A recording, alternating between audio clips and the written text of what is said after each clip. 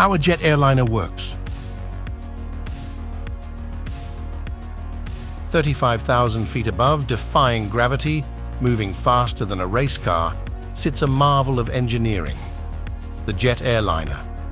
But what mysteries lie beneath its polished exterior? In a mere century, we've transitioned from the fragility of the Wright Flyer to the behemoths of the sky. Let's unravel this intricate symphony of technology. Aerodynamics is the dance between air and the aircraft. The wing, or airfoil, is curved more on top, creating a low-pressure area that essentially lifts the plane. Called the Bernoulli principle, it's why these massive machines fly. But takeoff and landing require extra lift. That's where flaps and slats come in, increasing the wing's surface area and curvature. Jet engines are intricate machines. At their core, they follow the suck, squeeze, bang, blow principle. Suck. The large front fan pulls in massive amounts of air. Most of this bypasses the engine core, contributing to propulsion and engine cooling. Squeeze multi-stage axial compressors, a series of rotating and stationary blades, then compress this air, making it hotter and denser. Bang.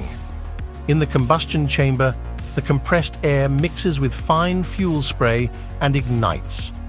This releases a tremendous amount of energy in the form of hot, expanding gases. Blow. These gases flow over turbine blades, making them spin and then exit through the nozzle, creating a high-speed jet. The turbine, while extracting energy from the exhaust gases, drives the compressor and fan. The balance is delicate, high bypass ratios, exotic materials like nickel-based superalloys and ceramics and precise manufacturing techniques keep these engines efficient, powerful and safe.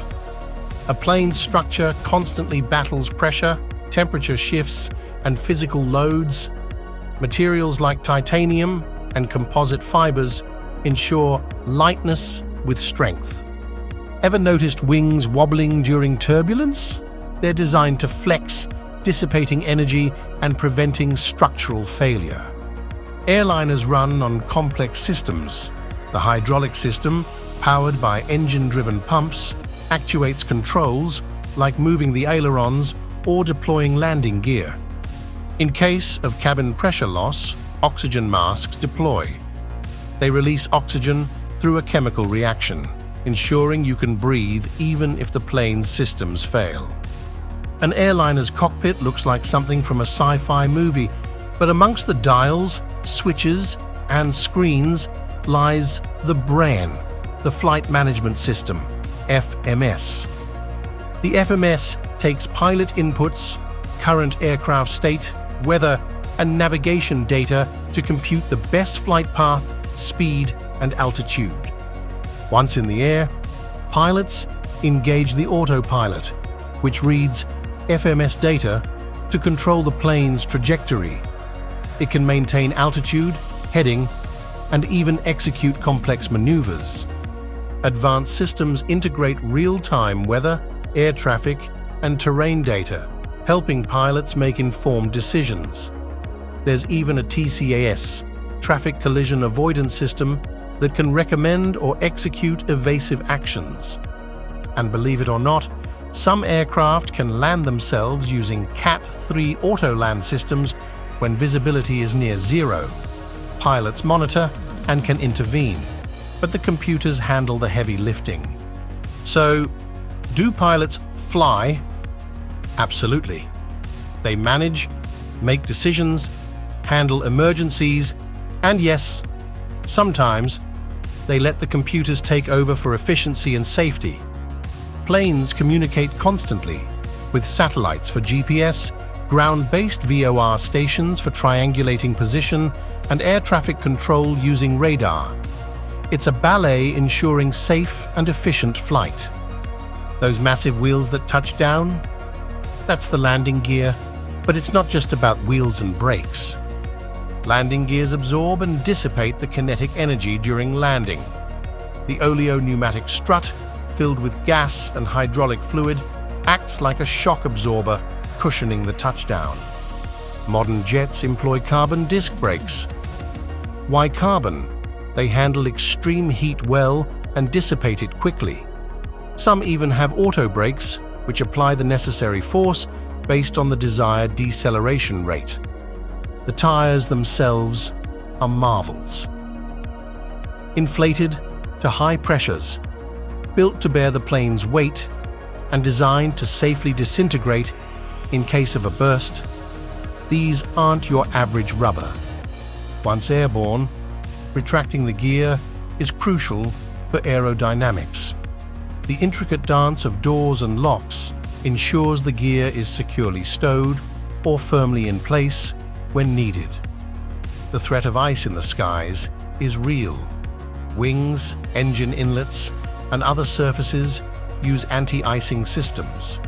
While some release hot air from the engines, others employ electric heating.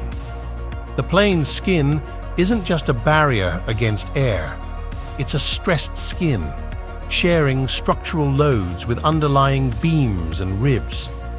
Those small triangular cutouts on the windows, they balance out pressure differences, preventing window cracks.